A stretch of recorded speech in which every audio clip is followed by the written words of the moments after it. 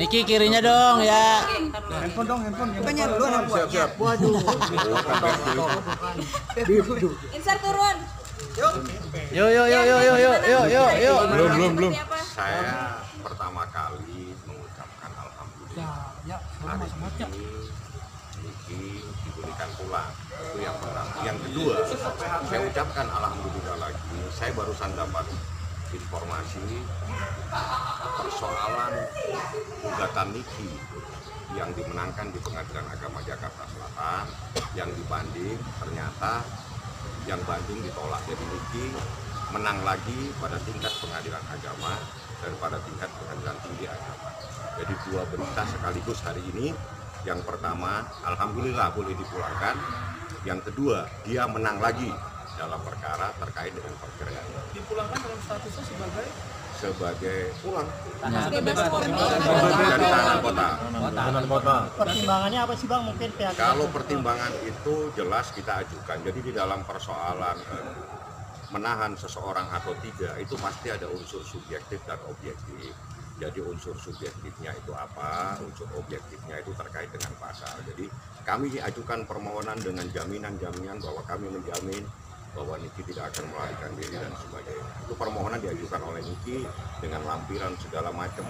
Kita sampaikan bahwa ini seperti ini loh kejadiannya supaya clear masalahnya. Jadi kami ajukan permohonan, saya menjamin, Kak Fitri menjamin, semua ada beberapa orang yang menjamin, sehingga itulah menjadi pertimbangan akhirnya Niki dibolehkan untuk pulang. alasan anak sendiri juga ada bang Ya itu adalah bagian. Jadi sebetulnya penahanan itu adalah hak ya dari eh, jaksa penuntut umum karena ini dalam proses tahap dua.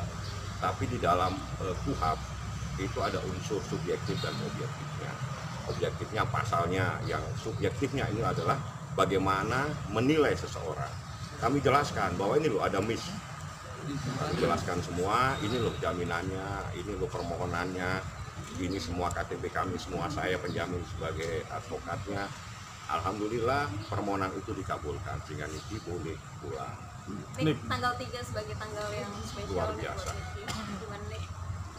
nggak tahu speechless aja pas banget soalnya kabar dapat kabar eh, dapat boleh pulang sama tanggal tiga ternyata menang lagi padahal dia udah kasasi banding ya alhamdulillah sih bersyukur Tiga hari selama di dalam mungkin pelajaran yang Niki ambil. nggak ada pelajaran hikmahnya yang sedih nggak ada hikmah masuk aja kalau gua mah udah biasa ya Tahanan biasa kota. juga kali baru sekali Tahanan kota berarti nggak bisa keluar kota atau gimana nih? Bentar, nih. Ya kalau tahanan kota itu memang begitu, tapi jika ada hal-hal tertentu nanti kita sampaikan. Artinya begini, prinsip di dalam persoalan eh, penahanan kota atau tahanan rumah itu kalau memang diperlukan, misalnya contoh mau sidang, itu nggak boleh tidak harus hadir.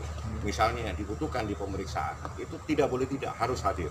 Nah itulah maknanya di situ. oh, Bang, tapi prosesnya termasuk cepat juga bang ya untuk mengurus artinya tahanan kota terus bisa di Ya berkat doanya rekan-rekan semua. Kami terima kasih banyak buat rekan-rekan media yang selama ini mensupport, selama ini yang membantu kami, mendoakan Niki dan sebagainya lah. Kami ucapkan banyak terima kasih atas nama Niki dan rekan-rekan semua.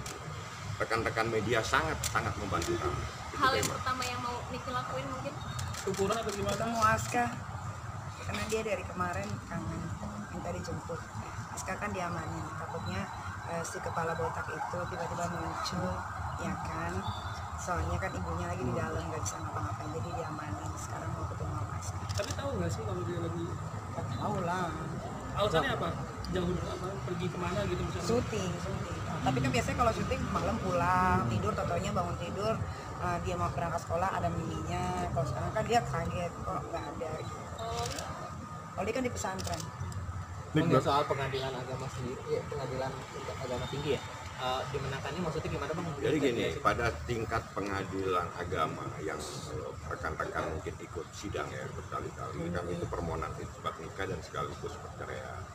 Nah, di dalam putusan pengadilan agama, pernikahan Niki itu yang dulunya belum tercatat itu dinyatakan sah oleh negara. dan sekaligus dinyatakan cerai. Nah, ada beberapa hal termasuk biaya-biaya kami nggak akan ceritakan. Yang jelas akibat dari putusan ini itu bahwa anak yang lahir dari perkawinan yang sah itu adalah anak yang harus mendapatkan akte kelahiran atas nama ayah dan ibunya.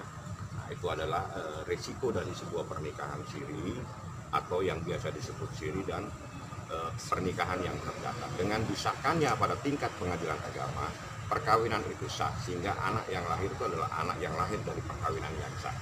Nah itu itu konsekuensi yuridisnya. Jadi Niki itu berjuang bukan untuk dirinya.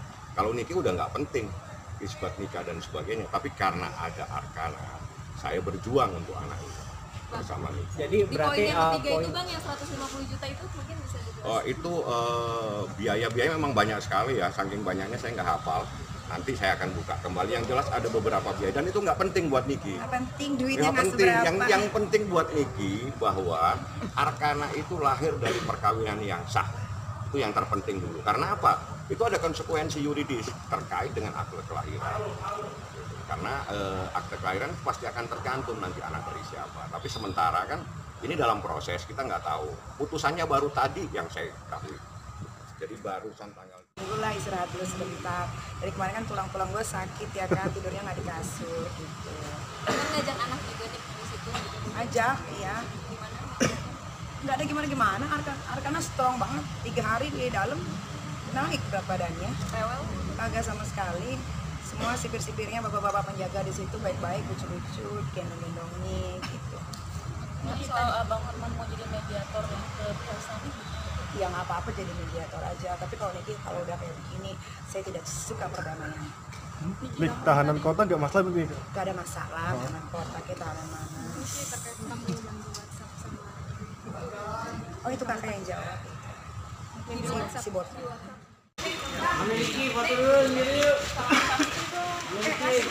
Nanti dulu nggak kelihatan nggak kelihatan.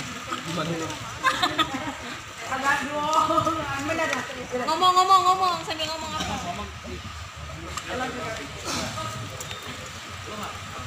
Billy nggak itu Billy itu. jangan pilih